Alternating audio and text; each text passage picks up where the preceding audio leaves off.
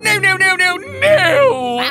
My baby's going to fall! Shit! I'm gonna die! You're an acorn. You're supposed to fall. Mama mama mama I can't do it, lads! I'm a coward!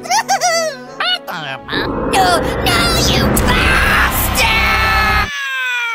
See, he's fine. Oh, alive! just about. Use your powers to make him grow into a tree, little wizard! Quick! He doesn't have much time! Acorns aren't supposed to be made of flesh. Maybe this one wasn't meant to be a tree. How can you say that, you callous twat? I know what's best for him, now make him grow!